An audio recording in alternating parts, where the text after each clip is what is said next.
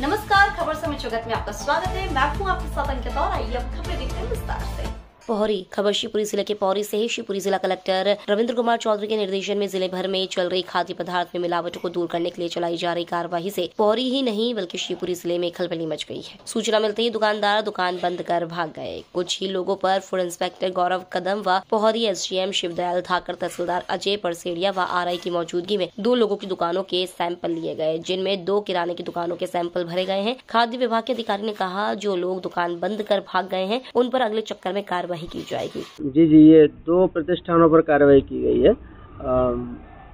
श्रीमान S D M द्वारा मतलब कार्रवाई के लिए बुलाया गया था।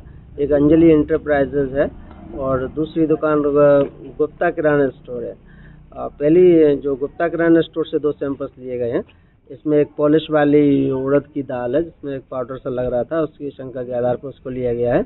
और, एक अरिहंत करके एक डेयरी वाइडनर मिल्क पाउडर है, दूध का पाउडर है वो। तो वो उसका सैंपल लिया गया। और अंजलि इंटरप्राइजेस के पास में Parle G glu original gluco biscuit expiry date का मिला है। एक्सपायरी इन द सेंस उसकी बेस्ट बिफोर डेट सोलह जनवरी को थी।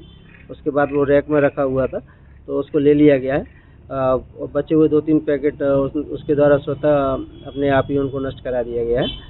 और एक नेस्ले मैगी मैगी का सैंपल लिया गया है। उस वो नियर बाई एक्सपायरी डेट में थी। तो साथ में तहसीलदार साहिबान भी थे। तो उनके निर्देश पर उनके द्वारा साथ में थे। इसलिए मैगी मैगी का भी एक सैंपल लिया गया है। कार्रवाई निरंतर जारी रहेगी। जैसे भी एसडीएम सर और कलेक्टर साहब से निर्देश प्राप्त होते रहेंगे उसी क्रम में कार्रवाई आगे बढ़ती रहेगी। पौरी से खबर समय जगत के लिए सतीश ठाकरे की report. Latest news, subscribe to our channel. and press the bell icon